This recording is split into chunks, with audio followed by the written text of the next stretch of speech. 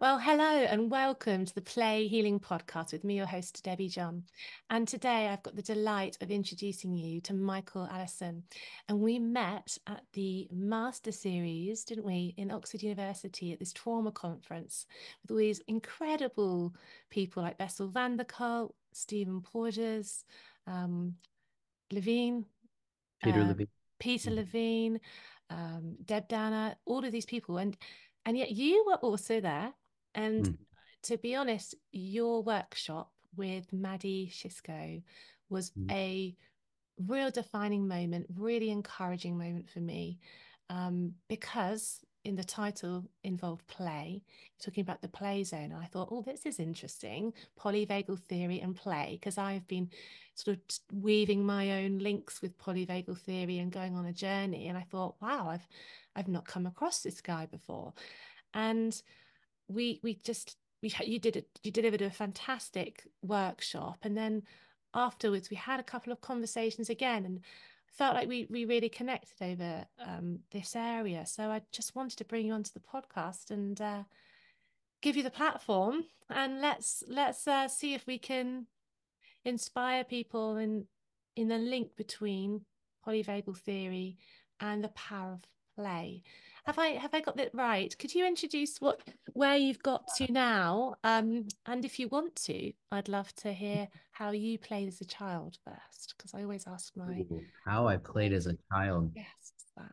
That's a great question. I've never been asked that question. So yes, we did meet in Oxford, and it was a lovely meeting, and we absolutely shared a connection around play and the power of play when it comes to healing and what was really different about that conference, and I think what may have really resonated with you, is we can actually heal through play as well. It doesn't have to be so heavy all of the time, right? And so that was, I think, why we were there. Why Maddie and I were there was to really have a uh, have a different spin on polyvagal theory, and also a different approach to healing. And play can be that, right? We can meet a body that, for whatever reason, doesn't trust that it's safe to be still and instead is more in a mobilized defensive state and we can meet it through trusting relationships and social engagement back and forth and turn that into play whether it's dance whether it's playing sports whether it's playing in a band together or whether it's even just having a conversation which is what this can be too. It can be playful it can be spontaneous and reciprocal and and see where it goes which is to me what play is uh, how did I play as a child? Well, I grew up in in the east of, of the US, so in Pennsylvania, actually, and in a real rural area.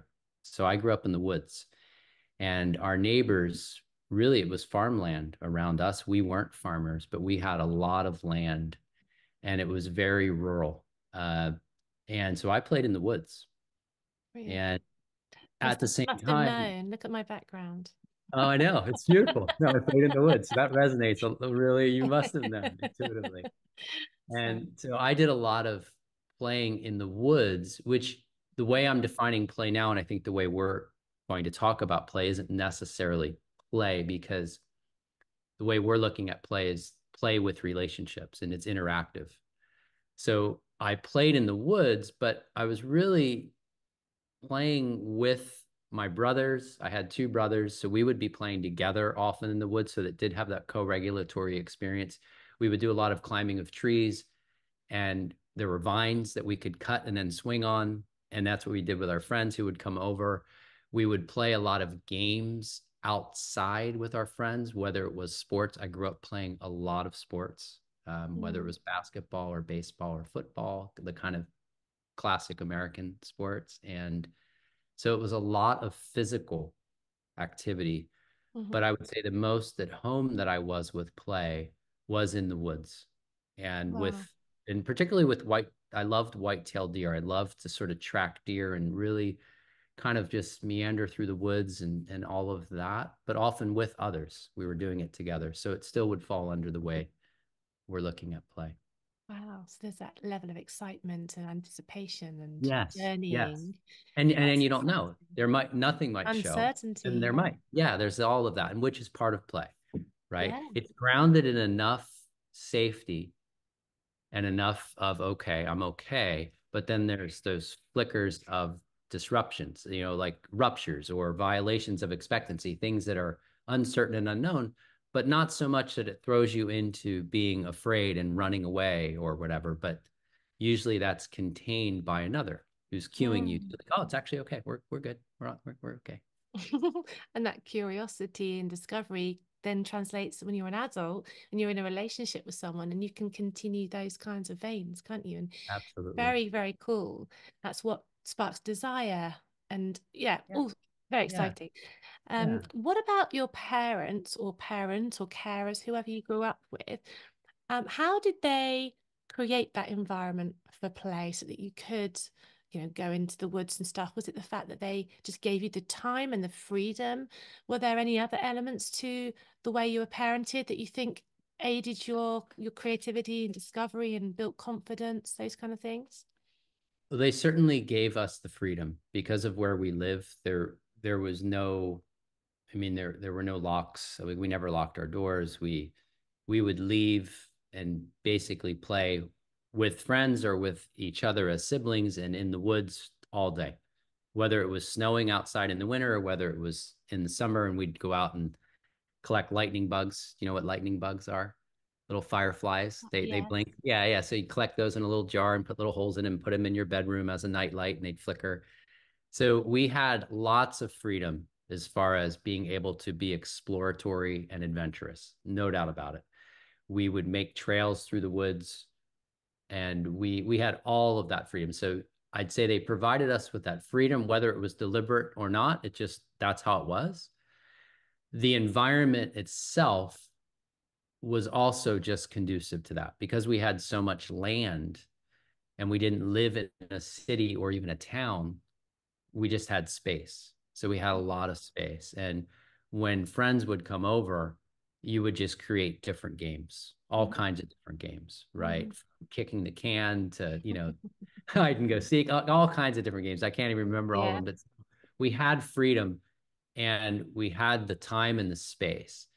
And then my my dad was really athletic as far as he was really into sports. And so growing up, we were from the time I can remember, I was throwing a baseball, or I was throwing a football, and then having brothers, we were always doing that we mm-hmm. even at one point we had so much land that we made we made like a baseball diamond on the field, right? Like, and it was very makeshift. Like it had like I think we for a back for a backstop we used our trampoline. We had a trampoline that was huge and it built into the ground, which is play.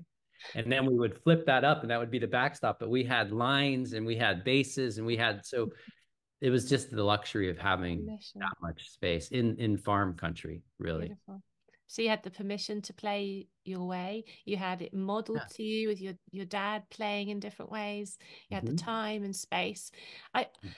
I found and and the siblings and brothers and yeah that social interaction yeah, yeah yeah and I found that why I set up play healing one of the reasons was that 80% of the adults that I was working with struggled to play right. themselves and when it comes to parenting, often they struggle to play and, and engage with their children. And there's this big disconnect that builds up.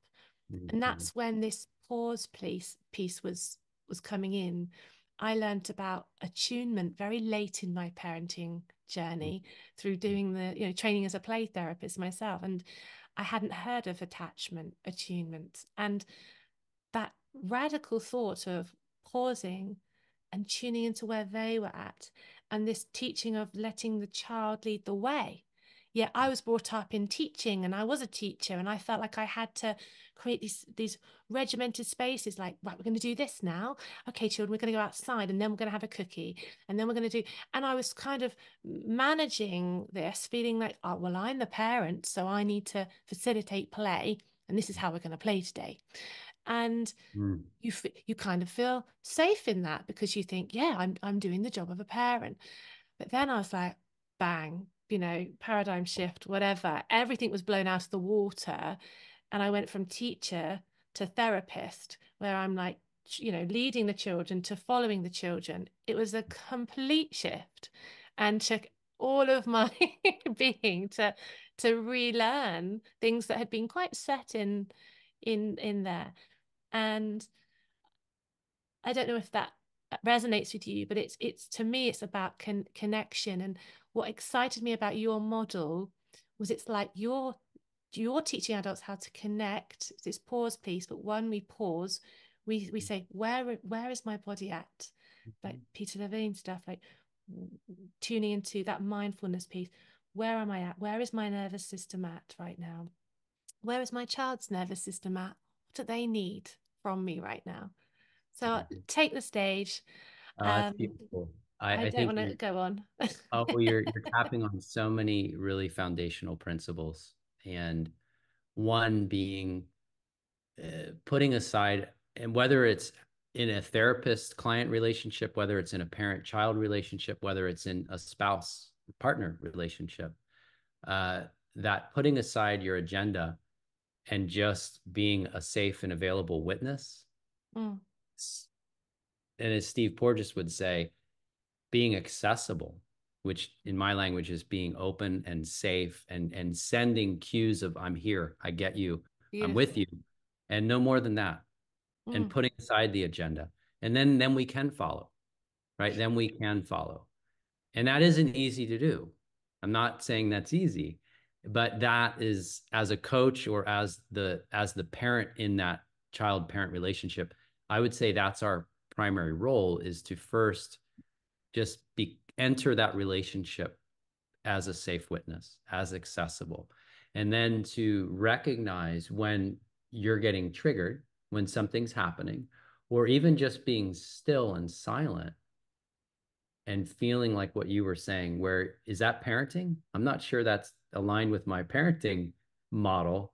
I'm supposed to be teaching them something or but that right there is that moment then to meet what I say and what you articulate is meet your body where it is, meet the body where it is.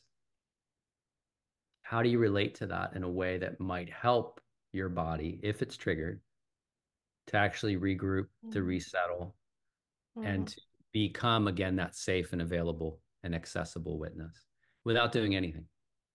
And that as well is trying to help parents to know that they don't have to be a clown to be playful mm-hmm. that actually facilitating connective play, facilitating therapeutic play is mm. actually sometimes holding space and being calm and mm. accepting, like you say, they're smearing all this paint on here and they want to go crazy and you're and instead of going oh no no no or no, what are you doing or going um so, so what are you trying to, to show me or what are you what are you doing right now you know you, you don't need to be judged you don't need to work it oh, out.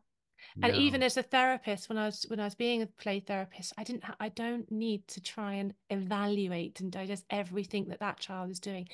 They are processing, baby, and you just let them process, and they know when they finished. They know when they look. finished. They'll look. They'll look at you, right? That's it. it's like you wait. I mean, I guess the thing there for me would be that I would do whatever I can. And it's an acronym. Wait, why, why am I still talking? Why am I talking? right. Why would I, and just wait and wait for them to contact you. Wait for them to engage with you, whether it's a look, whether it's something verbal, wait. My wife says that to me a lot. Wait. And it's our joke in our house, right? Wait, why am I talking? Waste. Why am I still talking? And it's very applicable to what you're to what you're saying. I don't have to say anything. I can wait for them to engage mm. with me. Mm. And that, again, it's not easy as a parent. Um, let's let's right. It's not easy. However, to me, that is a foundation. And and like you, I didn't discover polyvagal theory, which is really what grounds my how I move through the world. I didn't discover that when my kids were little, unfortunately. Um, and uh, with my oldest daughter, who's now 23, I definitely looking back, I would have changed a lot in how I was parenting. And I would have, uh, she was very naturally competitive and in wanting to really put herself into teams and things like that, but it was more gauged. I do a lot of exploration between competition and play. And they're and often they're in two different physiological states. Like most when I say competition, And the reason when I think you said a lot of people don't feel comfortable playing, and that's because to play, you actually have to be in a safe physiology. There has to be enough safety, enough connection, enoughness, even enough feeling of whatever we're playing in mm-hmm. enough to play this game, whatever it is, right? So there has to be this, and that's a feeling.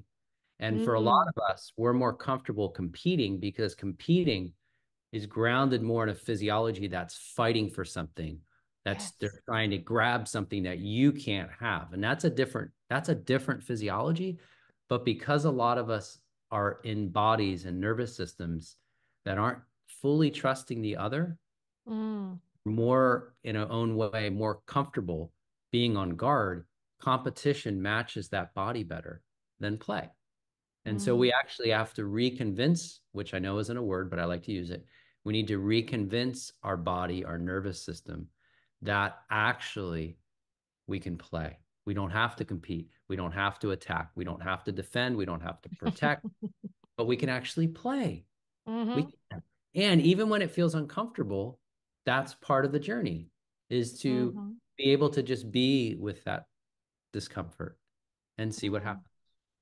So lovely that it reminds me of Brené Brown saying about to be vulnerable, we need to be courageous. Courage and vulnerability go together.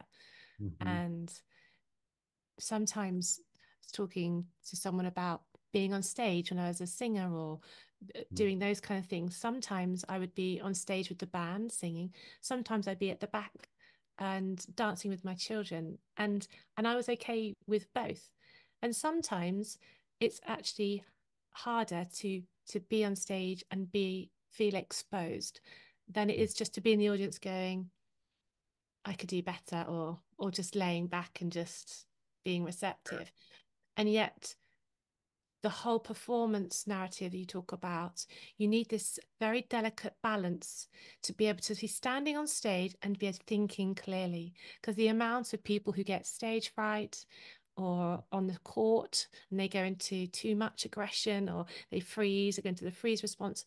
Let's stay with the stage analogy, but um, it takes takes practice, doesn't it? I don't always get it wrong. I was saying to you, I'd come into our call quite excited and very mm-hmm. like heightened, and I've had to just kind of bring things down again so I can be present with you, not be thinking about the last conversation I've had or what I've got to do next and presence is is such a I'm throwing too many things out at once here but mm.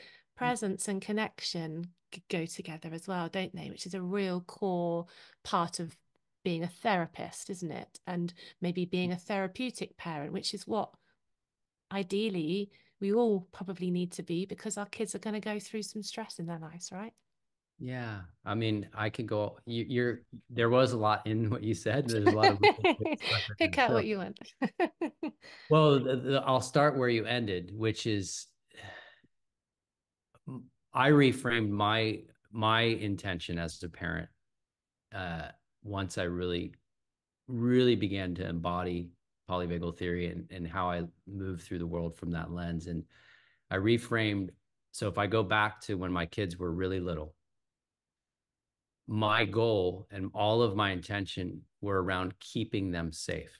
Mm-hmm. It was keeping them safe, right? Of course, I was loving and compassionate and all of that, but it was everything was about keeping them safe,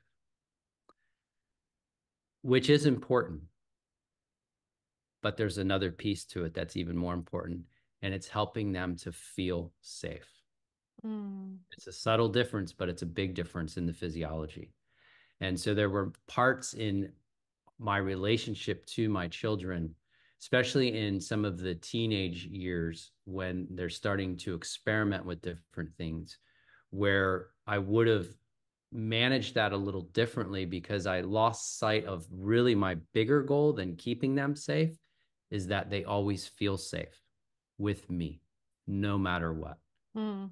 So it shifted into no matter what, no matter what's playing out, no, no matter what, I'm going to regroup in a way that they don't feel that they can't, they're not safe with me, no matter what.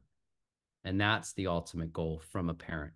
And part of that is what you're talking about, allowing them to have the freedom to be messy, to make mistakes, to do whatever, and to sort of in a way, it's it's like if you have a dog, dogs are really, really good examples of this, right? Like my dog, when we go on a walk and I take him off leash, he walks with me for a while. And then as he's starting to feel comfortable in that environment, he trots ahead and he goes off ahead. And he, but he always looks back. Mm-hmm. he knows that I'm there. And if I turn around and walk away, he will come running back, right? Because he loses contact. So that's what that's what parenting is. Mm. Is they know that they are always safe and they always have that safe place with you, but that gives them the ability, the resilience to then move away and take some steps on their own, mm-hmm. knowing that they can always run back, just like my dog. right. And so that would have changed uh, had I gone back 20 years, right? Mm-hmm. That, that little, and it's a big piece, but that would have changed. And then you said something else about now I forget. Freezing, was... freezing on stage and oh, the oh yeah, freezing on stage. Yeah, and performance. Thing. Okay, yeah. So in that realm, so I work with a lot of different types of performers, right? Whether it mm. is a professional baseball pitcher, or a high level tennis player, or a golfer, or a singer, right? Or a performer on stage. And the first part is that recognize and respect that your body, your nervous system is going to have some sort of reflexive reaction to that environment. Period. It's going to. It's going to. Period. As it should. Because if we think of it from the nervous system's perspective, you're in a different environment. Maybe you've never been there before, so it's unfamiliar. You certainly don't know all of those nervous systems and bodies that are out there on out there watching. There's no way and you are interpreting their postures, their movements, their if they're making sound, you're making these subconscious reflexive interpretations, trying to predict what's really going on, right? And you're in a way feeling evaluated because you are, like you just said, sitting back and going, "Oh, I could do better than this." There's there we know that that's happening out there.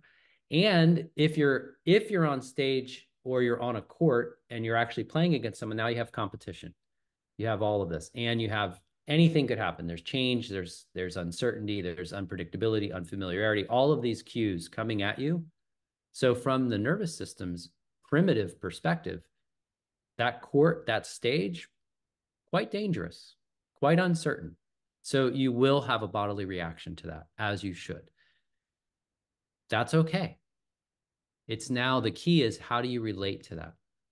Do you relate to it in a way that says, go away, get out of me, stop this, this needs to stop? Or do you relate to it in a way that says, oh, when this happens, uh oh, this means I'm going to forget all my stuff. I'm not going to be, right? So it's how do you relate to that bodily reaction in a way that might help you realign that body, that physiology, the way your heart is beating, the way you're creating energy in your body, the muscle tension, the, the ability to use your voice? How do you relate in a way that brings all of that back closer mm-hmm. to what you practice, right? Mm-hmm. Back to mm-hmm. the physiological state that supports your intentions or that supports the expression of your skill set, that supports what you know in your head that you want to share, all of that.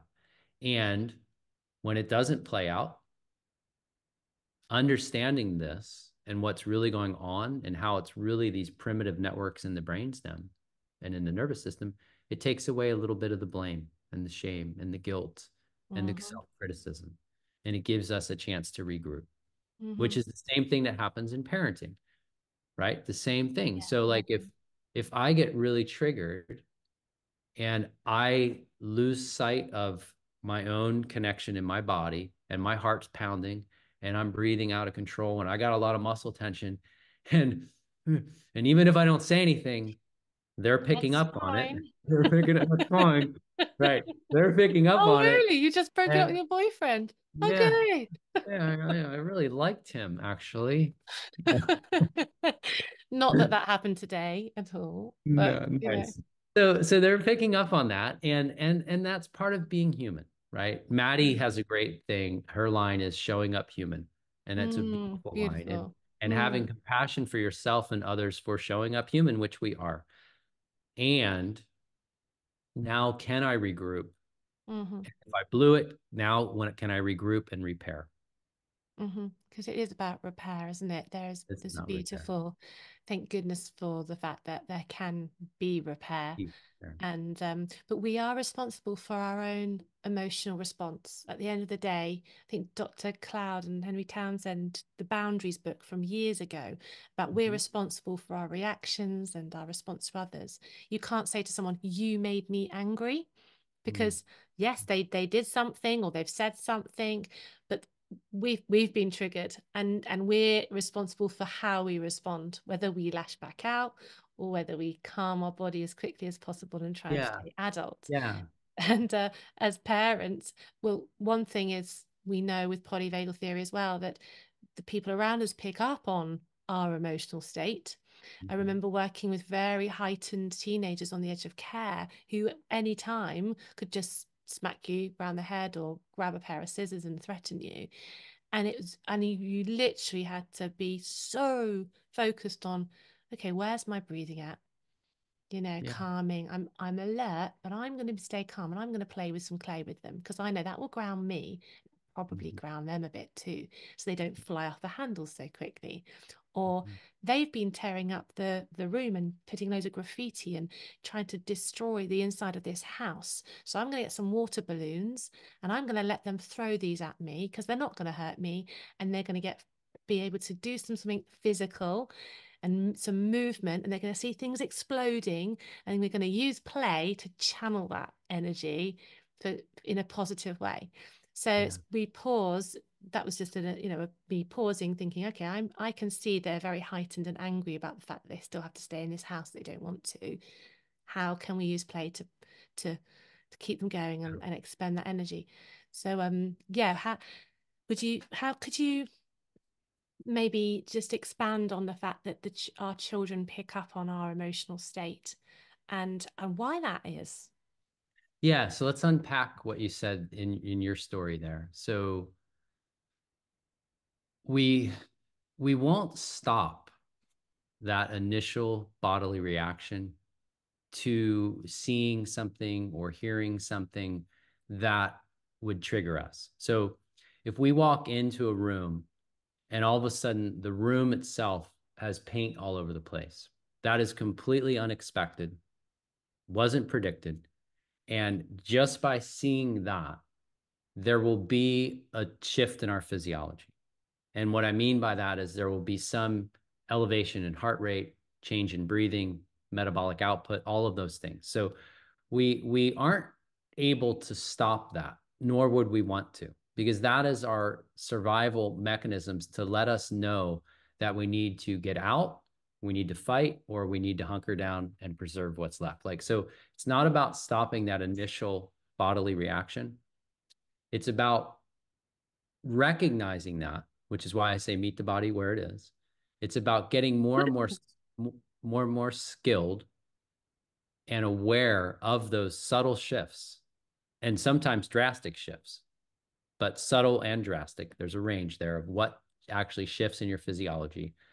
And then having those resources or strategies or places to put your attention, like you were talking about, or ways to redirect what is actually in the environment or going on in the environment that you know would actually it does two things. It's it's channeling their behavior while it's also taking away that risk and threat and uncertainty that is triggering us as well. So it's doing it's a twofer right? Mm-hmm. so it's providing more certainty to you which allows you to settle in more too in addition to channeling and containing their chaos with some direction that is you could say is healthier or mm-hmm. or more acceptable because damaging stuff isn't acceptable so you're allowing you're meeting them where they are which is mobilized and you're containing it in a way that through that structure through those boundaries through that direction you're moving it towards something that would be more acceptable which then they might now because it also cues you to feel more at ease that now you're sending cues to them that hey we're all good which then mm-hmm. allows them now to start playing too so yeah, and it was and it's reverse power play, wasn't it? That the the throwing water bombs at the people working with them, the you know the people in charge. Oh, sure. It's a power reversal play because they're going, and we're going, oh, oh, you know, it's like you give a, a, a five year old kid who's going through parents divorcing, the, the dad's just left and they feel powerless. That yeah. helplessness, that powerless, so sure. so tied in with trauma, right? right? Yeah. So you give them a pillow and it's the pillow of power. And every time they hit you with pillow, you oh my goodness, you go completely Absolutely. on the floor. Yeah. That it doesn't make them suddenly become these children that think they own the place. It just helps them to feel like they they have they have some kind of uh, power on, on on something because everything else feels like it's it's not well let, let's let's unpack that a little more like from the polyvagal lens. That's a really good example. So if someone has had an experience that we'll call trauma what mm-hmm. trauma from the polyvagal lens means that in that event whatever that whatever that body encountered that body that nervous system was overwhelmed and went into some version of collapse or shutdown. Could be withdrawal, could be freeze, could be full on passing out, could be dissociation, could be anything like that. But there was some overwhelming response that had some trigger of a shutdown withdrawal. Okay. And then from that moment on, there's a lack of trust in some shape, right? There's the retuning of the nervous system is now retuned to say, I need to be on guard. And, and that body might now be mobilized and fidgety and unsettled. That's one response, right? After the event. Or another body might stay locked in that withdrawal, just, just some version of collapse. And what's actually happening in that body that's in a collapsed, in this technically this dorsal vagal response, is the heart rate is slow the contractility of the heart is reduced. So blood pressure is low. Metabolic output is low. You're not actually calorically expending nearly the amount of energy. You're not making as much energy. You're not expending it because your body is in a state that is all about preserving and conserving what resources are left. Okay. So now when you're actually seeing those children collectively what we might say out of control, but they're physical and they're active. Maybe they're angry, maybe they're aggressive. That's the emotion that's emerging out of the physiology. But what we're seeing there is actually a body that's mobilized, which is actually mm-hmm. good mm-hmm. because mm-hmm. they're coming out of that shutting down, conserving place. And now they're mobilizing, which that tells me or you like they have some resilience left in their system. They have some capacity to get going. That's really mm-hmm. good. Now, all we need to do is actually start taking that mobility that might be now coming out as aggression and anger and rage or whatever. And if we can get that mobilized body to start trusting another, mm. which is what you did, because you're you're actually that power play from what I'm seeing is like now you're saying, look, I trust you enough, and I'm gonna let you throw water balloons at me and you're like, oh, you're doing all this stuff and you're sending them facial cues that now this is play because I trust you. So their nervous system is. They hear me laughing. They, they hear me laughing. Laughter is and a so very, very good cue. That's right. And so you're now cueing them back and forth that actually you can trust me because I trust you enough that you're throwing stuff at me and I'm laughing. This is fun. And so you're doing this subconscious neuroceptive dance back and forth, and you're you're just containing that it's not even that you're exhausting that mobilized energy it's that you're containing it with social cueing that's building trust that is what play is and now you're you're actually reconvincing that body mm. that they can trust again there's that lovely dance there you're talking about totally. this dance of attunement right and it, yeah. it reminds me of another be- wonderful guy that i worked with he was very experienced with working with children in care and that when there was this really quite big teenage guy who's much bigger than me and stuff kicking mm. off. You know, he could have done damage. He could have, you know, I've had mm. 12 year olds throw me over their shoulder at times, you know, and I mm-hmm. could have responded in two ways. I could have been put me down and mm. resisted, or I could have laughed.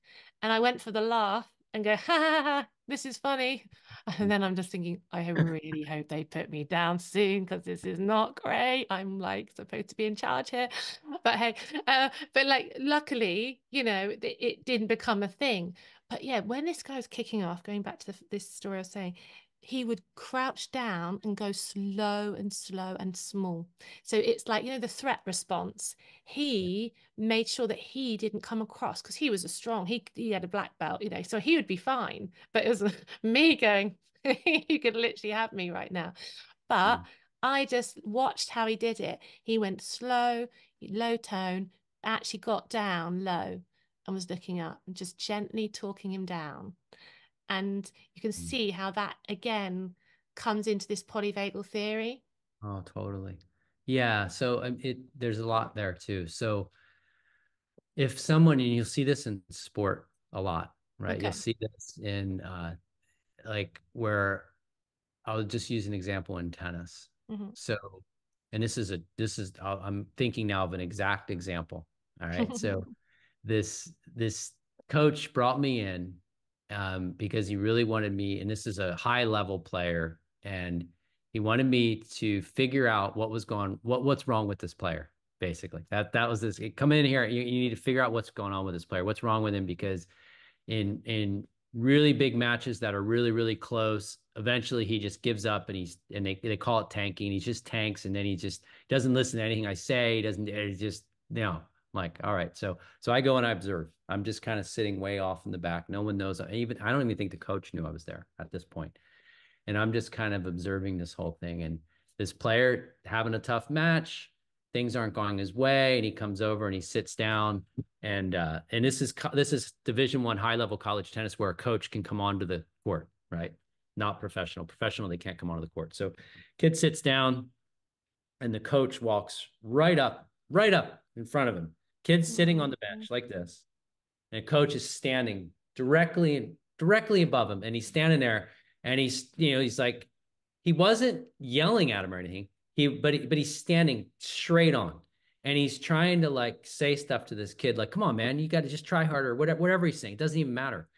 The fact that he's standing straight in front of him, posturally right there, this kid was doing the what you're saying the cowering maybe right he he was just going further and further yeah. and so this was going on the whole time until at some point the kid completely gave up as he should because he was overwhelmed Safe. he's not only things aren't going well on the court but now when he gets when he has his inner in between every two games where he has a chance to regroup he can't because he's got his coach right in his face standing above him, telling him what he should be doing and why, you know, da da da. And you're so much better than this kid. All you got to do is, and it's like, dude, you're just cueing so much more threat. And this poor kid is so overwhelmed. He, believe me, he, because he's thinking this kid doesn't care. That's his thing. He's like, he doesn't care. I'm like, dude, he cares so much. Oh, does he care? He cares so much.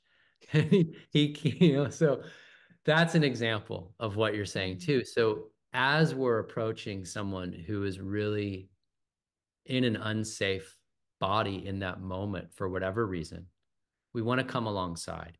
We want to get down at their level. I tend to sit next to, mm. right? So like if I'm a coach and I come up to a player who's really suffering and struggling, I'm going to sit next to him and I'm going to give them the cue that we're in this together. It's like, hey, yeah, we're okay. Yeah, we're, we got this. Like, or whatever it is, or like, hey, what's going on for you? Yeah, totally get it. Yeah, absolutely and then we'll do it together and we're going to sit side by side you know? And and that's to me what we all what we're all after in this whole quest in our whole journey of life. Where wherever stage we are we're on this quest of feeling as though i've got my team. I've got my mm-hmm. teammates. We're right here together. Beautiful and mm-hmm. and we've got it. And and i belong on this team. You belong here with me. We all have this felt sense of belonging and that we all know we have each other's back and that if i really i need time to recover and regroup mm-hmm. you're, gonna, you're gonna lift me up you're gonna you're gonna take over for me And when I need to be calmed down, you're there to help me calm down and vice versa. And that to me, and expand that out. That's what I mean in mm. life. Like that's what we're after. Yeah. That's our biology is we want to be part of a team. We want to feel safe, connected, and this sense of belonging. And the coach can help provide that, or the yeah. parent can help provide them. Yeah, that's so cool. I was just going to ask you if you could kind of coach the world or get your message out there and and help us to live in that optimal state which we call that ventral vagal state yeah where we can perform think freely yeah. build meaning yeah I, that's what i would call the play zone that's yeah, what i call the play zone, yeah like so if we're living in this play zone we've got permission to play our way with living play fueled lives as i say you know what mm. what would the what would be some practical things you could leave listeners with on how to try and bring ourselves down when when we've maybe feeling heightened so i was the anxious mum and i still have to be conscious of when anxiety levels are rising or whether mm-hmm. we're in that dorsal uh, shutdown state mobilizing ourselves so like a bit of movement or like tapping our bodies you know um, yeah. all those kind of things what could you give us some for the busy working professional yeah. out there what are the simple things yes. we can do well, the first thing is what we've really been talking about, and that's the awareness of where we are, the meeting our own bodies where they are. And now, hopefully, everyone listening understands that where our body is currently at was not necessarily aligned with our intentions, right? It wasn't that we made these deliberate decisions or conscious choices or intended to be in bodies that in this moment are sending cues to our children or sending cues to the world that I'm warning you to stay away or life is really dangerous. So mm-hmm. I'm protecting myself. We're not, none of us, from my perspective, intended to be broadcasting unsafety or or warning to the world. Mm-hmm. We all have really genuine heartfelt intentions. That's what I believe. And the world, for whatever reason, we live in a very challenging world. And we've experienced different things throughout different times of our life that have, in one way or another, triggered these reflexive patterns in our physiology. And to simplify it, we're just, it's, we're in bodies that just don't necessarily trust that it's safe to feel safe mm-hmm. or to be who we really are and that that's enough to be safe with others and to be accepted and belonging. So the first part is awareness of why we're here where we are without feeling guilt or shame or criticism or blame for ourselves and for each other. That doesn't mean all behaviors are acceptable. It's not what i'm saying. I'm just saying let's look at what's really going on from this lens so we have an opportunity to stay on our own sides and to have some compassion for self and other because we have to start there. And then we can start applying resources or we can start building strategies or we can start deliberately cultivating lifestyles and environments in which we live and work and play in that we know feed more mm-hmm. safety and connection and belonging right and that could be i'll just give one really good takeaway exercise that i like to do and i do it wherever i go and I call it the habit of safety. So if I, so when I went into, I think I mentioned, maybe I didn't, I did a teacher training last week at a school, right? So I did a, an in service hour and a half with all of the teachers and the headmaster and all of the, the people. And they, they were having a little meeting before it started that they wanted me to kind of be at. So when they finished, then I could start the the teacher training. And so when I walked into the room, I don't know anyone. Right? So there's 80 people there. I know none of them. I walk around the whole room like it was in this really cool library and there were different areas and I kind of walk around the entire place. I'm just kind of getting a sense and a feel. And then I I walk around and I find where I actually feel most kind of settled. I'm just kind of paying attention to what I'm feeling. And of course, I sit kind of in the back corner where there's nothing behind me and it was more of a sofa. So I was just more comfortable when I sat there. And as I sat there, I was really just watching and listening and I was allowing my body to sort of settle in. And I was allowing myself to, to sort of see any faces or hear any voices that particularly felt more warm and welcoming to me. And it was really funny because I spotted one person in particular. And so then as I could see that they were wrapping up, I could tell that it was kind of getting near the end and I was going to have to go up onto the stage and do the thing. I I walked over to this gentleman and I sort of tapped him on the shoulder and I just said, "Hey, I'm I'm Michael. Nice to meet you." And he kind of gave me a little exchange, you know, and then and then I walked up. And uh, at some point, maybe 45 minutes in, someone asked me something and uh, it led to this and i said did anyone see what i did when i came in here? And, and two people were like yeah you walked all the way around. And then like they like people noticed i'm like yeah this is really good because you notice. Like that's the point like we're always scanning mm. whether we're really recognizing it or not yeah we're scanning well we're scanning for both. We're scanning for safety and danger. Safety. yeah yeah yeah. Yeah we're scanning for cues that are welcoming and reassuring and we're also scanning for what might not be what could mm. be risky. And so they were like, "Yeah, you did all this," and then I said, and it was really funny because I, and then I said, and I actually, I, I really was looking for a really warm and welcoming face, and I found one, and it was this gentleman right over here, and I said, "What's your name?" And he, because, and he goes, "Oh, I'm Joel," and oh. and then we went on and we did this whole thing, and at the very end of the thing, he comes up to me and he goes, he, he, had a lot of questions. He was really into it because, you know, I'm the headmaster. And I was like, no. yeah. Oh, do you know? Do, I'm sorry, just side note here. Whenever I have I've worked in lots of schools and come across lots of people, most of the time I find that the people who go to the highest leadership roles in schools are the ones who are most regulated for longer periods of time. You might find that too. I've got friends who are headmasters. They are so good at being calm and it was so great. Oh, so, bang on. It was so fantastic. clear that I didn't know who this was. That was what was so beautiful too. And I was like, oh, I'm so sorry. Like it was really funny. And, like and was sucking up to him. Like out of like 80 people, here it is. I pick him out of the whole room. So, but the point of the story was to get to the resource that I wanted to share. Yeah.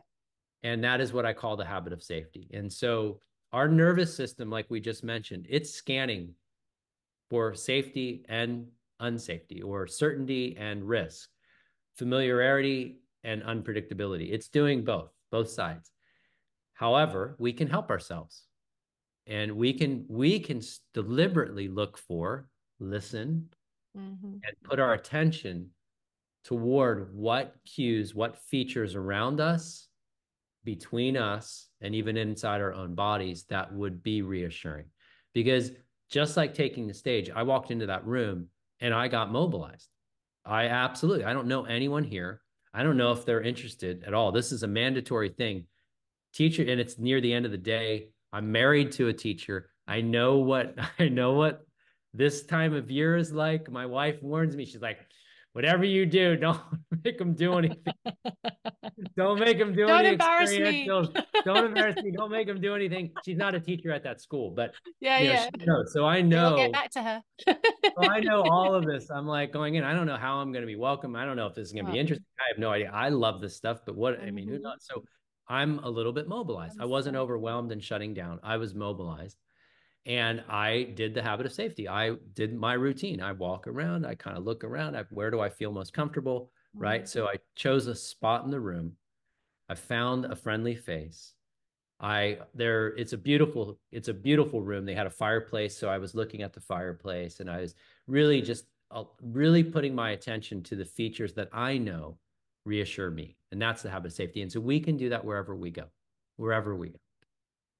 So wonderful. That's such a really useful, insightful tool that people can take as a kind of framework and do it their way, can't they? they their way.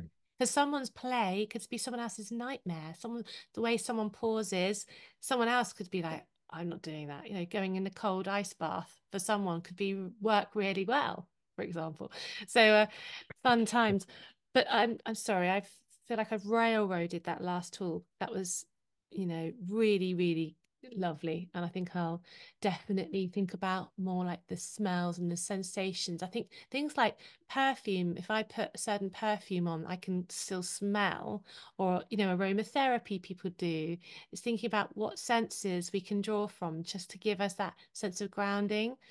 And, you know, I, I just, yeah, so really, really interesting. And, um, is there anything I was going to ask you the last sort of question about what you would maybe change in the education system, and then you you've said about going into school. Yeah. So and your oh, wife's a teacher, which is yes. fantastic. Um, maybe what what she would want to change would be interesting. But have, mm. is there anything from this play perspective that you would like to to see yeah. more of? in schools or less yeah at least here in the states i can only speak for what goes on here and I, and like i said i have my wife has been an educator for 25 years. She's currently a teacher librarian and, mm-hmm. and loves what she's able to do now. But she was in the classroom for a long time. And so mm-hmm. the complaint here in the States is they just don't have enough resource, right? So a teacher might have 30 kids. Mm-hmm. mm-hmm. that's really, really hard to regulate 30 different nervous systems, including including your own reactions to those nervous systems. So that to me, what needs to change first is that and we're doing it little by little in different schools and, and the polyvagal institute is doing it little by little in different with different educators in that we just need to first help the teachers understand and to be able to see beneath behaviors at physiology at nervous system responses to what's going on.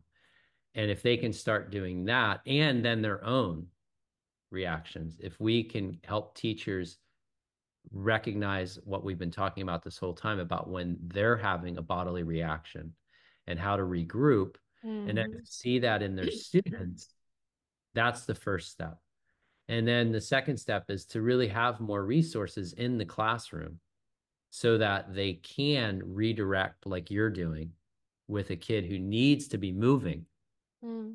but to redirect it in a way that's not as disruptive to everything else right and there are some people doing that, right? Like I'll give you an example. Um, and this is actually from another school psychologist who I was talking with her about this whole thing with the headmaster and we were just laughing. and so we were talking about about this and she said, "You know what I and she's works with a lot of schools. She said one of the things that that has worked as far as redirecting there was a kid and this was a true story there was a kid who was really like being being disruptive, sort of clowning, right? Clowning and clowning is a really interesting state too because that's again you're clowning because you're trying to get social cueing back that mm-hmm. you're okay but you feel really uncomfortable you feel really unsettled and so a kid who's clowning is just a kid crying out for some comfort and connection and is actually using their social engagement system but they're doing it in a way that quote isn't appropriate for the environment and it's disruptive right? So this kid was clowning and was kind of telling jokes and so the teacher recognized that this kid just needs more safety and connection. So what what she did which was really awesome is she talked to the kid and she said hey how about you write down all those jokes that you want to tell us? And then at the end of class you're going to get to perform and do like a five minute thing. And it worked beautifully it worked beautifully. Very nice. So yeah. Those sorts of things. But that's a teacher who understood that physiological response and what was really going on for this kid and didn't just immediately go, oh, disruptive kid. And what we do naturally is we make up a story as to why they're that way. Oh, mm-hmm. parents aren't parenting him at home, like whatever. We make up a reason.